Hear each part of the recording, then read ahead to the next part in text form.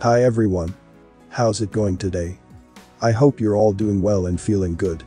It's always a pleasure to have you with me on my channel. As usual, I will discuss some topics that you might like.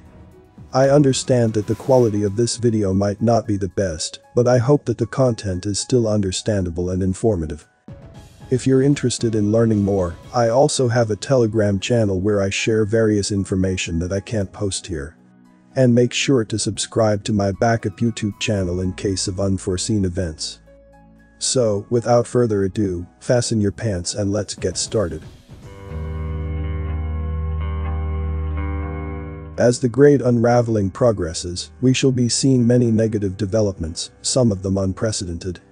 Only a year ago, the average person was still hanging on to the belief that the world is in a state of recovery, that, however tentative, the economy was on the mend. And this is understandable.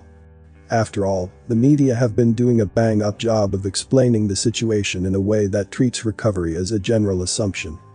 The only point of discussion is the method applied to achieve the recovery, but the recovery itself is treated as a given. However, as thorough a distraction as the media and the governments of the world have provided, the average person has begun to recognize that something is fundamentally wrong. He now has a gut feeling that, even if he is not well versed enough to describe in economic terms what is incorrect in the endless chatter he sees on his television, he now senses that the situation will not end well. I tend to liken his situation to someone who suddenly finds all the lights off in his house. He stumbles around in the dark, trying to feel his way. Although he can picture in his mind what the layout of his house is, he is having trouble navigating, often bumping into things. This is similar to the attempt to see through the media and government smokescreens during normal times. But soon, as his government undergoes collapse, he will be getting some bigger surprises. He will find that the furniture has inexplicably been moved around. Objects are not where they are supposed to be, and it is no longer possible to reason his way through the problem of navigating in the dark. Many of those who observe the daily news reports are beginning to figure out that they are being fed misinformation. Many are beginning to recognize that neither political party truly represents them, or, for that matter, is even concerned for their welfare. These folks are now navigating in the dark. But the bigger surprises have not yet occurred. There will be a certain amount of lead up, plus a great deal of confusion, but the actual occurrences will be sudden. No one will be able to predict the dates on which they occur, except those very few people who control the triggers to these events. Before I continue the video, please give a like if you learned something. Also, don't forget to subscribe and click the notification bell so you won't miss any update. Finally, watch until the end to avoid any misunderstanding. Thank you.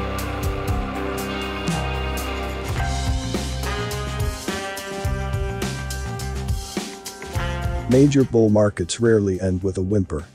They end with a major upside spike. And, unfortunately, brokers and investors alike tend to think that, if the market has been up for the last week, the last month, or the last year, it can be expected to be up again tomorrow. This makes them prime pickings for governments, who may choose to falsely inflate a given market, creating an upside spike, to encourage investors to toss their last few coins into the pot just before the bottom drops out. In previous eras, it could take time for people to sell, and even in panic times, the bloodletting was not instantaneous. However, with the internet, all that is necessary is a major sell-off by one entity, one that goes through the stops of a large number of investors, and in a flash, the market goes through the floor. Note. Stops are orders placed with a broker to sell a security when it reaches a certain price.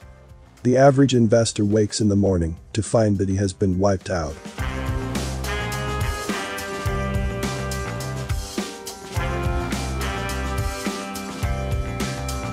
Should there be a currency crash, as is expected in many countries, promises made by governments will be abandoned suddenly, as though they had never existed.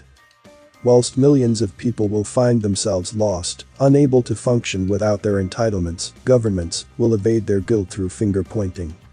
Tories will blame Labour, Labour will blame the Tories. The equivalent will take place in other countries.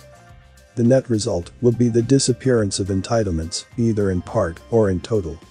The public will take out its anger through increased hatred of whichever party it is that they already consider to be the evil one. They will fail to understand that collapse was unavoidable.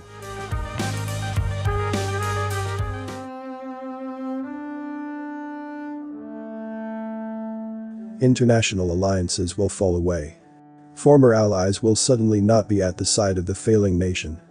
Former friends will sign alliances with the other side. Trade agreements will suddenly cease. Wealth, initiative, and favor will flow to the new foremost country and its allies. All of these things will happen incrementally, not by any means on the same day, but in each case, the actual occurrence will be sudden. Just as Julius Caesar was at his peak of power when his fellow members of the Senate drew their knives, a powerful nation is coddled right until the time of its fall. In this regard, the US will see the greatest abandonment of loyalties that any nation will experience. The greater the empire, the greater the pretense of loyalty to it. And the greater the abandonment when the fall comes. When an empire collapses, it dies slowly. Unless it comes to an end through conquest, it deteriorates in a series of sudden jolts. Its leaders grasp at anything that might cause a delay, even if this means a worse outcome in the end. The process may take years and even decades. However, it is in the first few years that the major events occur, the events that create the most significant damage. This occurs for two reasons. The first is that the leaders of the country, believing in their own power, believe that they can maintain control of their trade, their overseas control, their military, etc., and find that, when the crashes come, the rats desert the ship in every area. The second reason is that any empire builds its strength upon lies and exaggeration as much as it builds on its true attributes.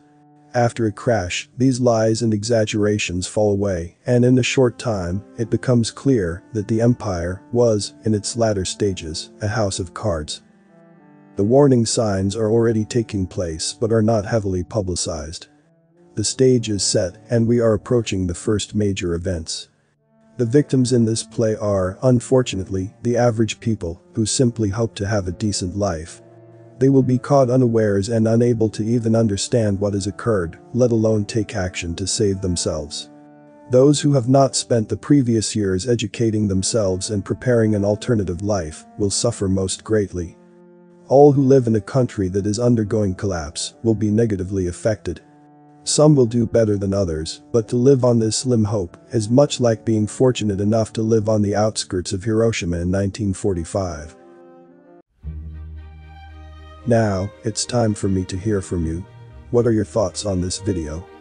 If you found it interesting or informative, please consider giving it a thumbs up and sharing it with your friends and family.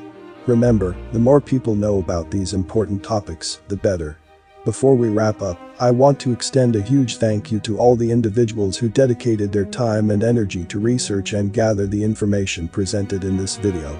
Their efforts are truly commendable and have helped shed light on important topics that affect us all. Make sure to hit the subscribe button and turn on notifications to be notified when the next video is uploaded. Thanks for watching and I'll see you in the next one.